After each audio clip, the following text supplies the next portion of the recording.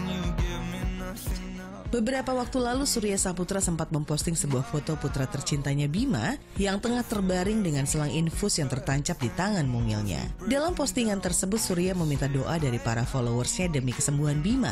Hal itu pun sontak membuat penasaran tentang kondisi Bima yang sebenarnya. Dan ditemui kemarin suami dari Cynthia Lamusu itu pun menceritakan kondisi terkini sang anak yang ternyata harus dirawat di rumah sakit selama dua hari akibat penyakit radang sehingga mengalami dehidrasi. Bima alhamdulillah udah keluar dari rumah sakit alhamdulillah udah sehat, udah mau minum, mau makan, gitu. tapi emang masih recover. Batuk pilek, ada radang, itu yang menyebabkan dia nggak mau makan, nggak mau minum, akhirnya jadi parah. Surya memang telah lama mendambakan kehadiran anak-anak di tengah keluarganya. Maka tidak heran jika Surya mengaku begitu memanjakan anak-anaknya. Namun hal itu tidak membuat lalai dalam bersikap tegas terhadap para buah hatinya.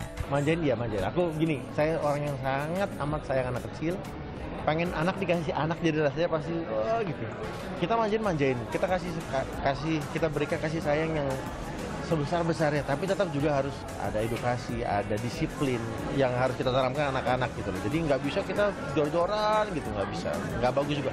Kayak saya bilang tadi semua yang lebih yang terlalu itu nggak bagus